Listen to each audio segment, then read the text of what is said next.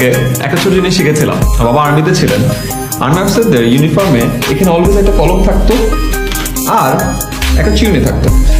কলমের খেলাটা তো বুঝতেই পেরেছিলাম। চিরুনিতে খেলাটা আসলে খুব একটা বুঝতে পারিনি বাট এখন বুঝছি যে চিউনিটা কত বেশি দরকার। এখন যখন আমি শুট করছি, আমার সামনে একটা আসলে কলম আছে, একটা চিউনি আছে, কিছুক্ষণ পর পর চিউনি ব্যবহার করা লাগছে।